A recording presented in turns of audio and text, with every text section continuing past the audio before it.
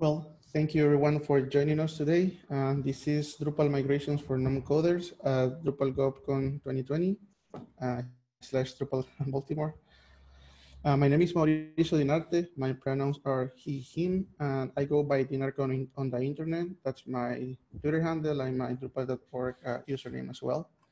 I am from Nicaragua, beautiful country, 80 to 90 degrees all year round. So if you need to escape a cold winter, this is a pretty nice place to come. And we do have a lot of uh, nature and wild activities like watching a lava lake uh, in real life. So if you come here, uh, that is something that you will see in person, or you can go to that website to see a, a digital tour of how it would look like. I collaborate with Agaric. We are a distributed company uh, based in Boston, but uh, we are all over the place. And just a, a, a, note, in, with, in addition to being a development shop and a consultancy, we also provide trainings. So in October, we're going to have full day trainings about React, uh, Drupal migrations, upgrades, and site building. So I invite you to check it out.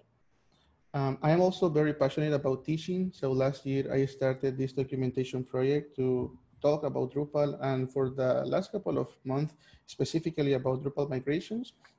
And I usually write in English, Spanish, and French. So if you speak any of those languages, by all means, uh, pay us a visit. Uh, for today uh, presentation, we're going to uh, be seeing some examples of, uh, you know, running Drupal migrations from scratch. And last year, I actually I wrote a, a, series of articles, like 31 articles, that will teach you from the very basic, like from nothing to understanding a lot of the different uh, concepts of the API itself. So I also uh, invite you to, to check that resource. That was a guide that I wrote to my past self to make the introduction to migrations a lot more easier. And I also produce uh, video courses uh, that we cover even more advanced materials. So also you can have a look at that. Um, I'm going to start by saying that the Migrate API in Drupal is an implementation of a design pattern called extract, transform, and load. Uh, this is not specific neither to Drupal nor PHP. It has existed for years. And uh, if you are familiar with this, uh, everything that you know about this pattern will apply to Drupal.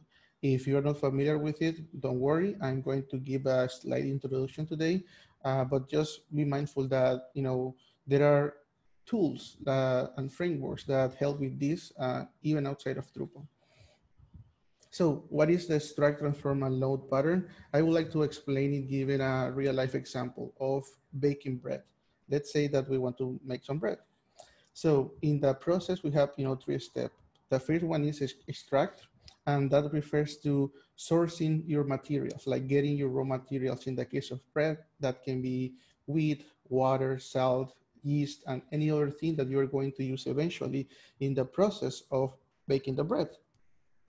Um, in Drupal, these are provided by source plugins. So the source plugin is the one responsible for getting your data. In today's example, we're going to see how to do it from CSV files, but there are different source plugins to get, for example, for from JSON file or XML files, or uh, a, a, database, for example, Drupal 6 or Drupal 7. So, you know, this is the first step, getting your data. Once all your data has been collected, uh, the second step is transformation. And in the case of bread, you know, that means combining all the ingredients. And after that, uh, putting them in the oven, like in the sense of, um, you know, the, the chemical, the physical process that go about uh, transforming, you know, your mixed uh, ingredients into the final product. Uh, in the in Drupal, this is accomplished by using process plugins, and the responsibility of process plugin is messaging and transforming the data from whatever you got in your source to how Drupal expect them to be. Because let's say, for example, that uh, you want to format a date, maybe in your source, the data is formatted in one way, and Drupal expects something different. So you will apply a transformation uh, for that for that specific piece of data. Once the transformation process is complete, uh, it comes the load operation. Uh, that means, uh, in the case of the example of the bread, putting the bread in a shelf. And you have different types of bread. You know, you can uh, bake a bagel or a French uh, toast. I don't know my terminology in English, uh, but basically is that you can have different types of bread and the same idea applies uh, in Drupal. You know, when you move content into Drupal, you can have different categories. For example, uh, a user, a node, a taxonomy term, a file, an image, a media entity, a paragraph, and so on. So you will have like different categories and, uh, and that is going to be the responsibility of the, the destination plugin. You know, once the, transfer, the data has been transformed, the destination plugin will say, hey, uh, this is going to be used to store a node. This is going to be used to store a user and so on. And that's kind of like a, a, a high level overview of the ETL uh, process. Now, let me tell you a short story about my first migration. It was around five years ago. And by then I had been doing Drupal for about five years already. So in that time I had been doing site building, theming, module development, and I thought that a migration would be easier. I mean, I have been using Drupal and its and and its API for so long then you know I estimated the task to take a couple of hours.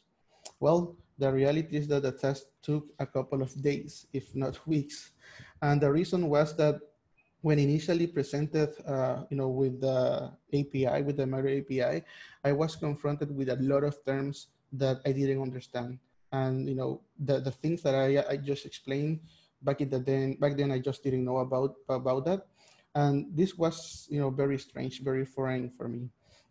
And, you know, it was very frustrating as well. All that I wanted to do was to move content into my website. The moment that everything started to click was when I realized that all of these words that I didn't understand belong to one of the categories of the ETL process. They would be either a source, a process, or a destination plugin. Um, and how does this help to make things easier? In any migration, you can only have one source and one destination. So for example, in this uh, slide that we see 15 concepts. If I know that I only need to worry about one source and one destination, and I can already cross out uh, eight of those. So the, the things that I need to keep in mind, the things that I need to be aware of is less. And you know that makes things easier. Uh, for example, we might want to read from a CSV file and create nodes and that already discards so many other things. Um, when you write a migration, you have one source, one destination, and as many process plugins as you need. One thing that I want to clarify about this restriction is that um, every migration needs to follow that, one source, one destination. But when you are migrating like, uh, for example, a full Drupal website or any other project, like when you want to move a lot of content into Drupal, you are very likely going to require not one, but many migrations. So, you know, some of those migrations might be creating nodes, some of those migrations might be creating users. So the restriction is yes, uh, per file, one source and one destination. But in your whole migration project, you can have as many migration as needed and combine these, you know, as, as needed in general. Like you can have two sources, five destinations uh, in different migrations, and that is totally fine.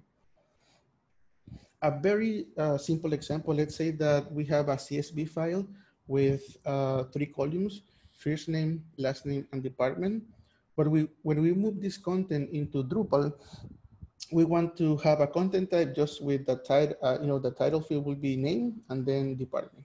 And we want to put the first name and the last name together. So what we're going to do is we're going to use a process plugin to glue things together.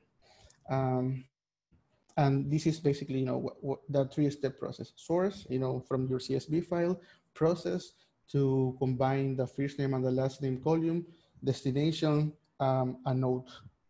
Uh, and in this particular field, with the title field uh, being the, com the combination of the first name and the last name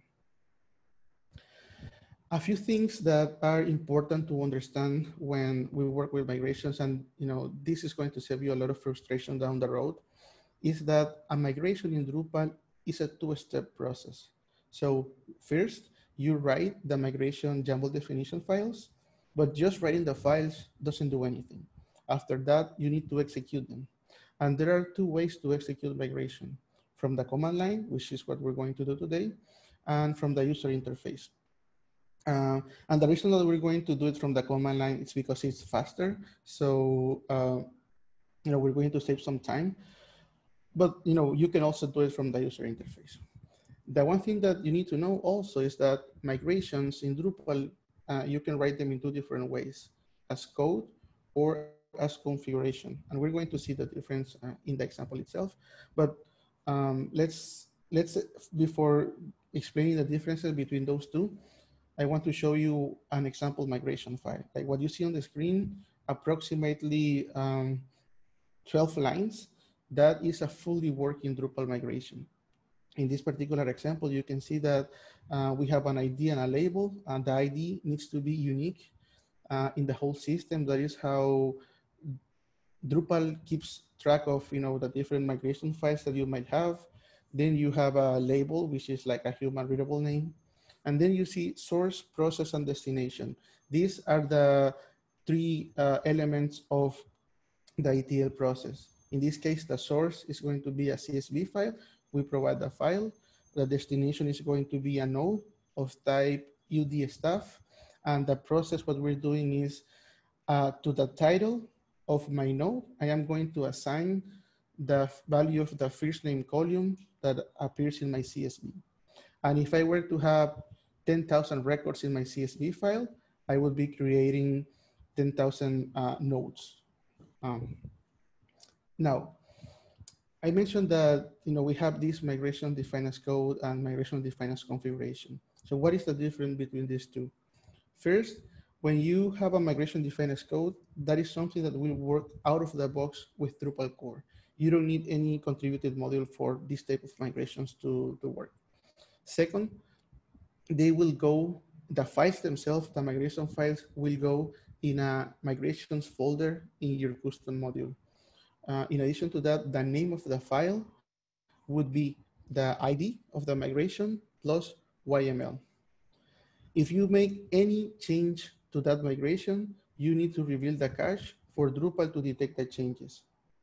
And in order to execute them, you do it from the command line using a module called uh, migrate tools. The migrate tools modules will uh, give you the drush commands needed to execute this migration. When you do migrations as configuration entities, they require a contributed module, and that is the migrate plus module. The, the location of the file is going to be different. They will go in a config install folder in your custom module. And the name of the file is also going to be different. It's going to be migrate underscore plus dot migration dot the ID of the migration itself dot YML. So the format is a little bit different. Now, because these are my uh, configuration entities, if you make any change to the file, what you need to do is sync your configuration again. So, you know, keep keep that in mind. You can use Drush, you can use uh, the user interface, you can use, you know, any other measure, like there are some custom modules that can help you with that. But the idea is that you need to interact with the configuration management system in Drupal uh, to detect any change that you make to those files. And uh, these type of migrations can be run both from the command line or from the user interface. The, the migrate tools modules gives you a user interface where you can go and click and execute the migrations. As you might see, um, there are many URLs in the presentation that those are you know links to articles with more information about um, about topics and I am also going to share the slides so you will have access to all of these for reference. Um, and right before jumping into the example, I want to give some general tips about writing migrations. First is that try to start from an existing working example. Um, it is easier to, if you can find on the internet uh, something that does more or less what you need, you copy that example, you execute it to verify that it works as it is supposed to. And after that, you start tweaking those examples uh, to match your specific needs. And the series of articles that I mentioned, the 31 days of migrations, And that comes with a repository of about 20 examples of, you know, different types. So, you know, that's a, a reference that, that you can use. Also, uh, read the official documentation. It, it might seem obvious, but more than once I have been stuck in something and the solution was, was right in the documentation. And in my humble opinion, the Migrate API is one of the best documented uh, APIs in the whole of Drupal. Um, also, uh, pay close attention to the syntax of the YAML files. Um, these are text files that you use to write the migrations, and they are very, very sensitive to different things, one of which is white spaces. So if you have an extra white space or a missing white space, that can break the whole file. And then the migration process is going to fail, not necessarily because you have something wrong in the logic of your migration, but because the syntax of the file itself is invalid. So keep that in mind. Depending on the IDE or text editor that you use, you might install some plugins to help you with this. Another uh, recommendation is that migrate one field at a time. Let's say that I have a content type with 10 fields. If I try to write the migration all at once and something breaks, it will be hard to determine I mean, not necessarily, but it might be hard to determine which of the 10 fields was the one producing the error. But if you go one by one, then uh, you can pinpoint where things start breaking and focus your attention on the, you know, on the current field to fix that one. Also, YAML files are regular text files that you can add to your code repository. So commit them often for the same reason. If at some point something breaks, you can use the history of the repository to go back in time to a point where things were working. And you know, after that, uh, continue fixing things as needed. Uh, also, there is no need to do everything using the Migrate API. Let's say that you need to import 20,000 nodes. And from those 20,000, 17 uh, you know, include edge cases where maybe the formatting is wrong or, you know, or something is not right uh, when you execute the operation.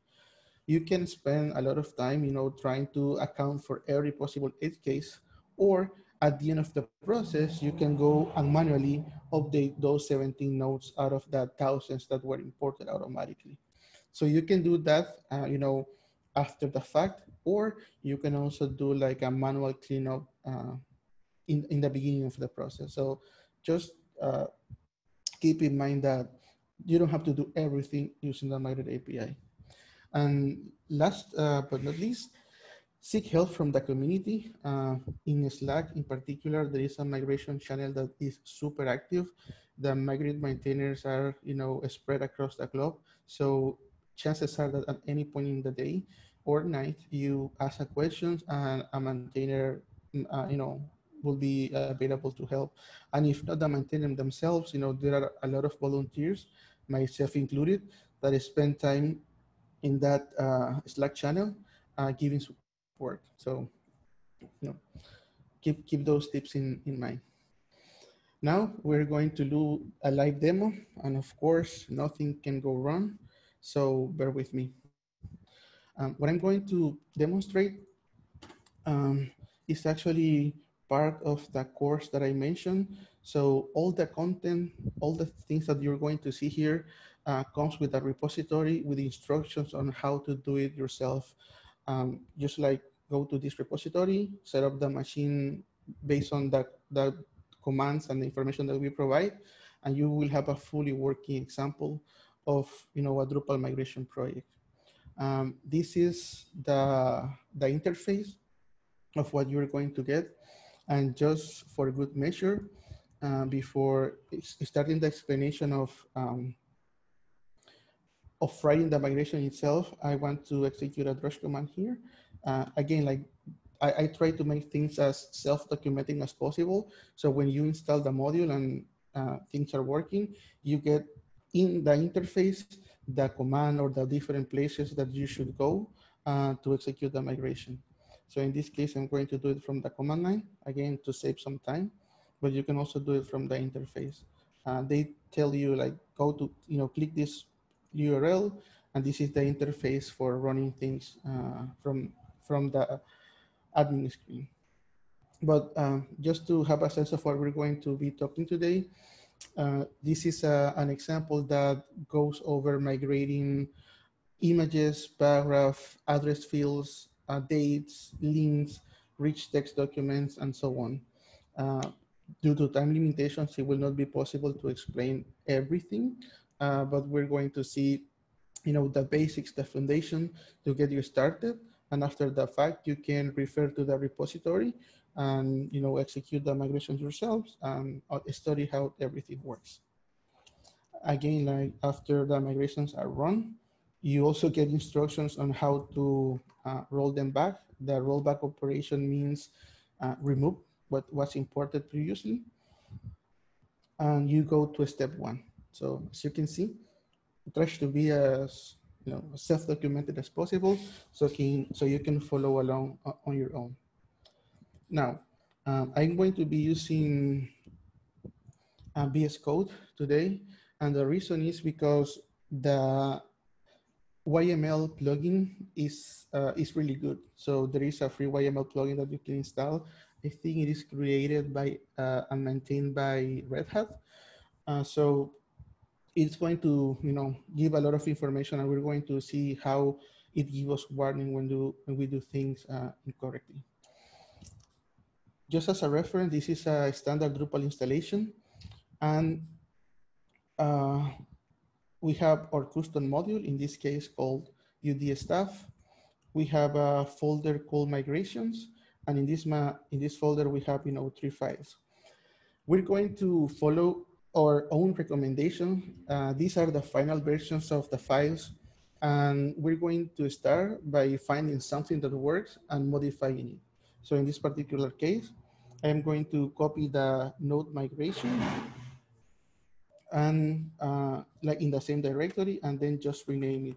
In this case, I'm going to say underscore init at the very end.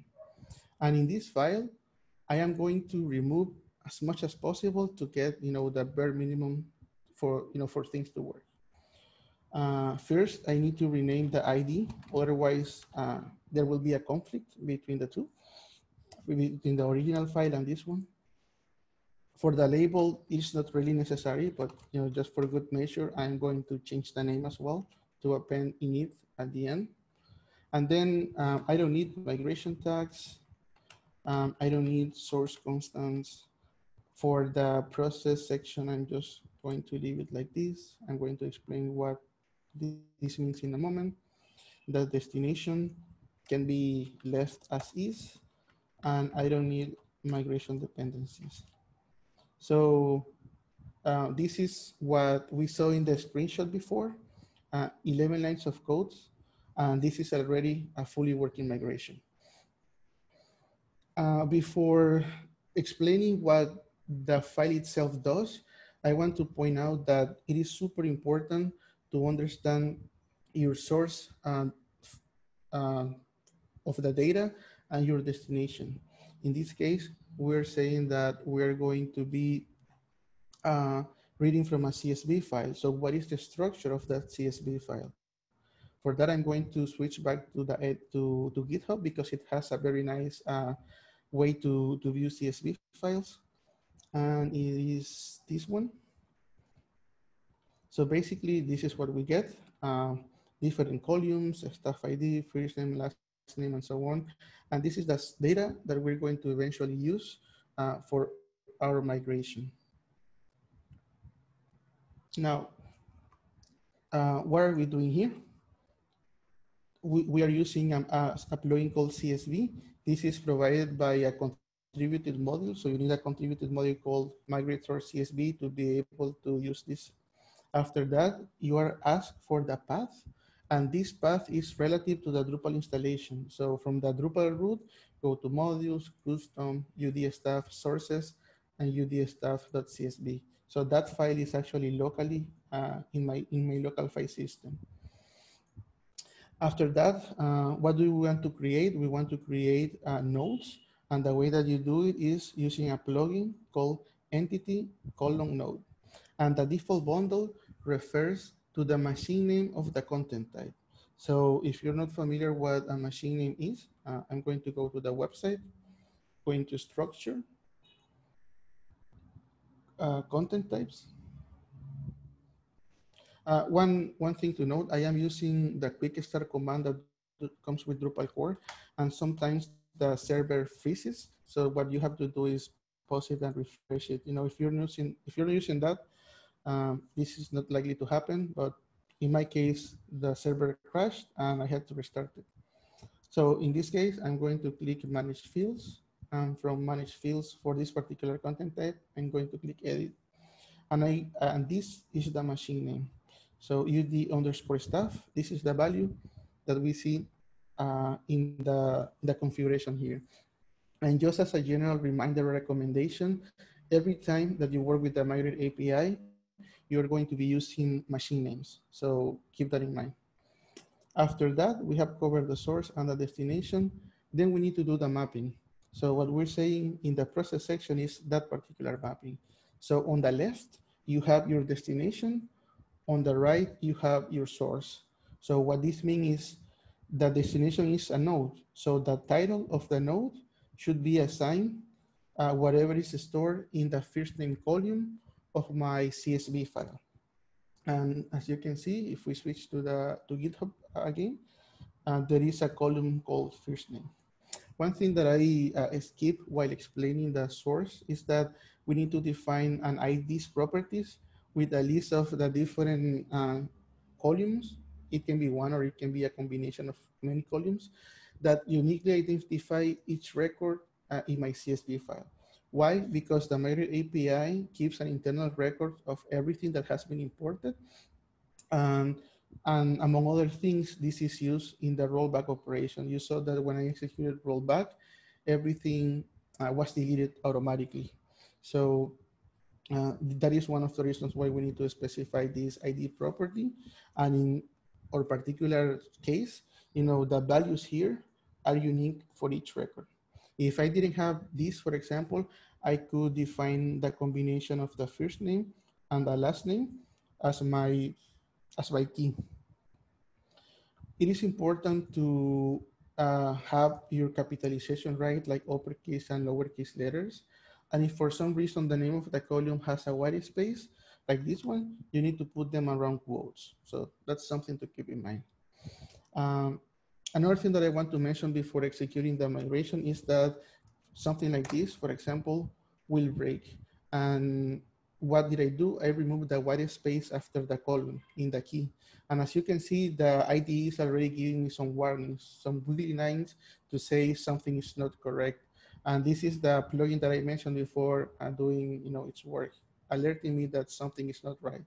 So that is an invalid migration. If I put a space, that is a valid migration. Uh, if I were to, for example, all of these elements to put them here, that is an invalid migration. This is a valid migration. So you need to be mindful not only about white spaces, but also about indentation levels. Um, you know, and this comes with practice and experience.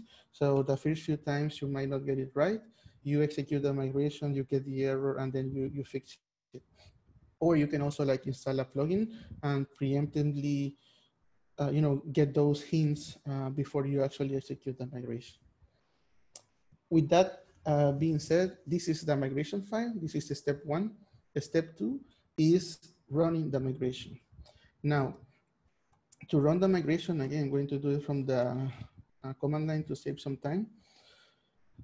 First, because I added a new file, I added a new migration, I need to execute um, a cache rebuild command for the system to detect the changes.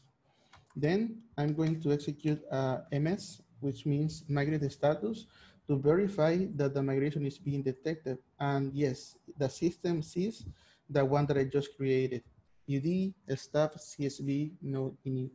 And it is already reporting that there are three elements to process. Now, I'm going to execute this migration.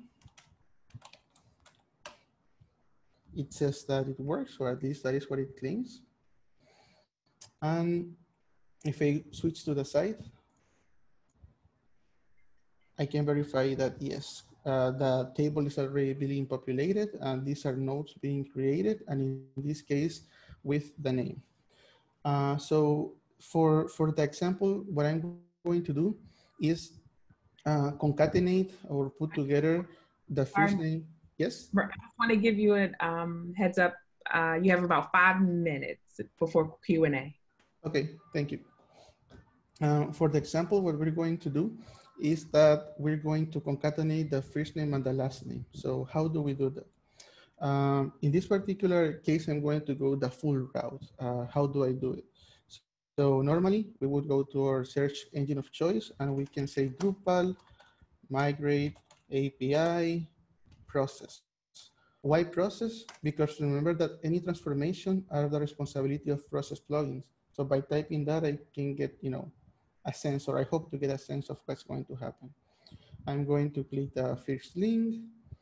Uh, then I look in the list. It says list of core migrate process plugins. That sounds promising.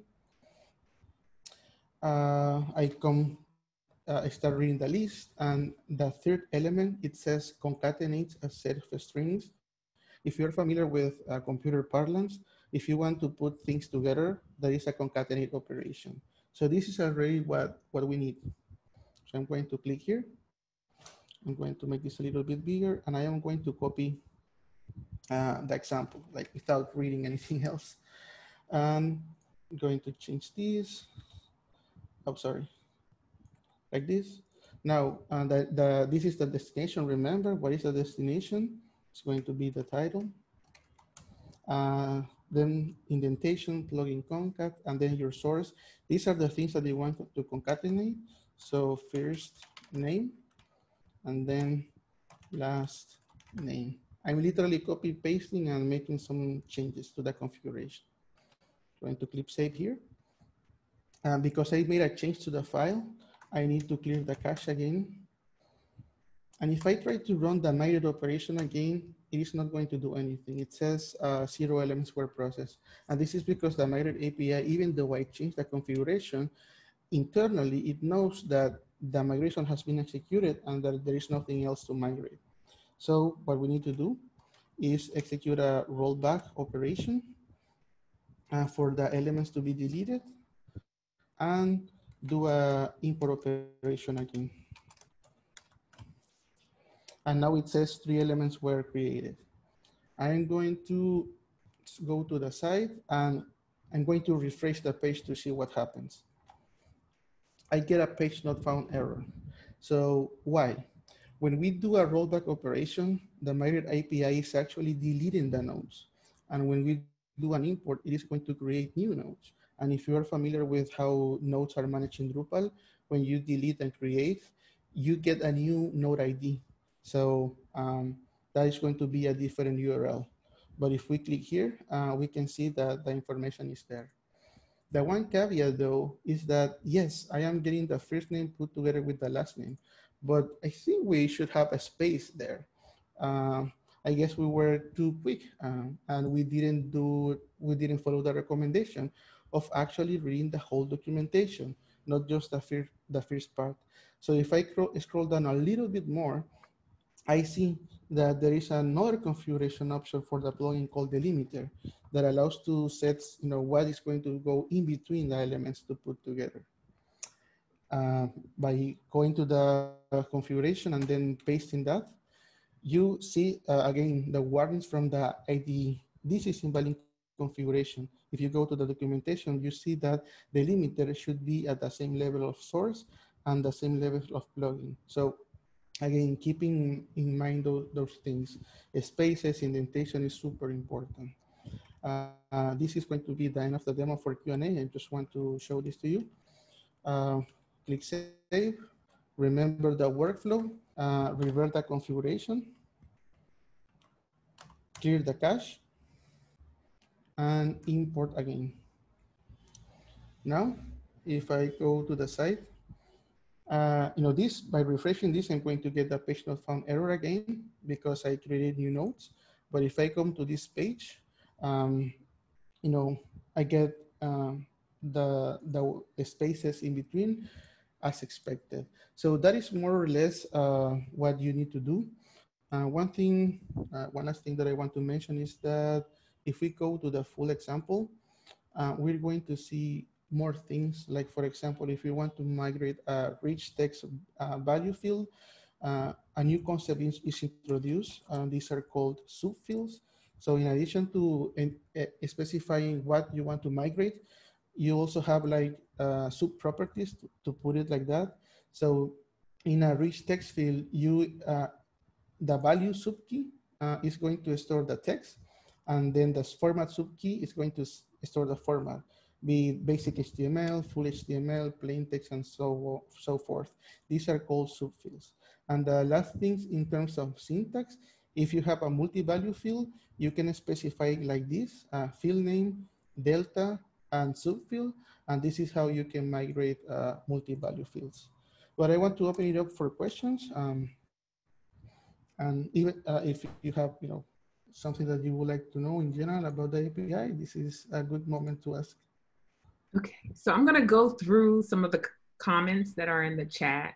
Um, so the first one was by Rob D. Um, when going from Drupal 8 to Drupal 9, do you need to migrate or is it just an upgrade? And Benji answered D8 to D9 is an upgrade. Yes, uh, you don't you don't need to go through. Uh, there's no need to use the migrate API to go from eight to nine. If you are familiar uh, with minor version updates, like going from 8.7 to 8.8 to 8.9. That is the process that you're going to uh, do for Drupal 9. The migrate API is going to be useful when you need to come from Drupal 6 or from Drupal 7. But starting from Drupal 8 and now moving forward, uh, even major versions are going to be way, way more easier to execute, uh, just like an update operation, not an upgrade. Okay, and the next comment is from Benji. Um, one estimate is that it is only two times as hard as a minor upgrade, like 8.7 to 8.8. Um, before Drupal 8, the Migrate API was a contrib module and it was already the best documented part of Drupal.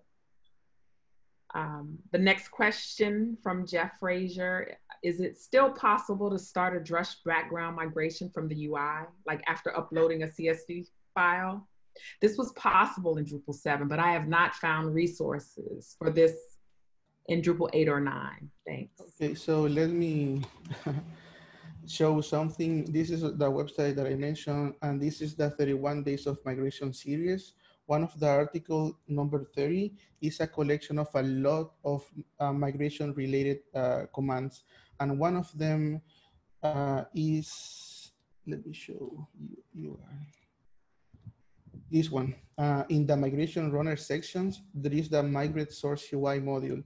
This one allows you to configure a migration and then have a user interface when you where you can you know upload a CSV file and execute the migration as you configure it. Like you know in, in my example, uh, this is my migration configuration. So the file that I upload is going to be run, run against this configuration. And this is a functionality that uh, you can implement using the Migrate Source UI module. And you can come to this reference for you know, a lot of other options that you have. Okay, so we have another question, I think, when we were looking at your YAML file. Um, why the wrapping brackets on the IDs? Uh, okay, so the reason is because IDs is supposed to be an array. Uh, by array, I mean a list of columns and the, the, the brackets represent array syntax. And now that this is mentioned, I want to bring something up.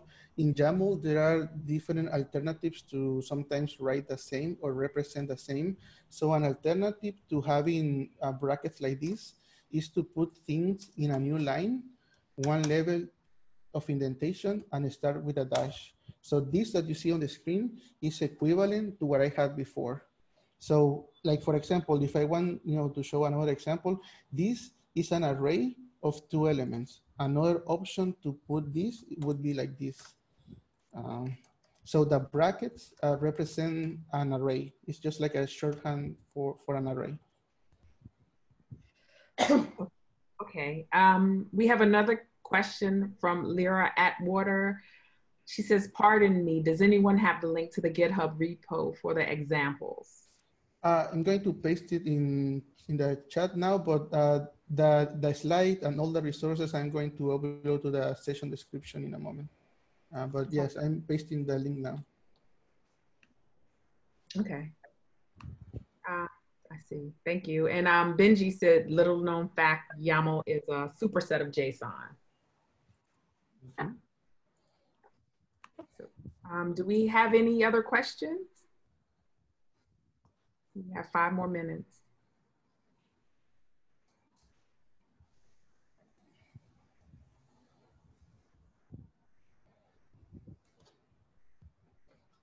Um, if there are no questions, uh, I have a couple of more slides that I want to run through and then we're done, I guess. So um, we did the demo already. For the most part, it worked. That is not usually the case. So we were lucky today. Um, this is um, a summary of what I was talking at some point about the syntax of Drupal migrations is that uh, in the process section, when you do is you have uh, the uh, property like the title or the field, for example, field image. So that's the first part. Then it comes the delta. This is a number. If you have a multi-value field, this would be zero, one, two, and so on. And then you have the subfield. Uh, this subfield is actually easier to see uh, on, you know, with an example. Uh, the, the body, you know, you have the text that you write but also you have the text format. So that's what I was referring to. Like you have two things. It, uh, it is one single field, but it, internally it stores two pieces of information. One, the text, and two, the format. And so that's what, what we have here. Those are called subfields.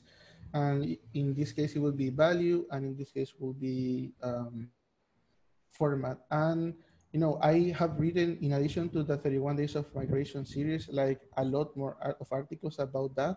And there is one in particular that has been super useful even for my own reference. Most of the time, um, I write to myself, to my future self. And this is an, uh, an article that talks about that depending on the field type, what subfields are available. And if you want to migrate an address, for example, you have 13 different options. So a reference like this might be useful for those cases. Uh, in addition to the syntax, there is also something called process pipeline. So you might need to apply more than one process plugin uh, for one specific operation. And this is how you do it. Uh, you put them like an array, one after the other and after the other. Only the first one is going to have the source configuration to read, for example, from your CSV column. And every other one in the pipeline down below, you know, whatever is the output of this plugin is going to uh, be sent as the source for this one.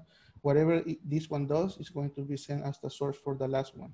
And whatever this one does is going to be, you know, the final value assigned to the destination field. And these are some examples that of modules that I use today. Many thanks to all the Migrate maintainers and contributors who have, who have helped me along the way remember the trainings, the website, the articles, and thank you very much. Uh, that's uh, for providing feedback and testimonials and sending me an email if you have follow-up questions. Thank you to the CAM for the opportunity to present. Thank you so much for your presentation.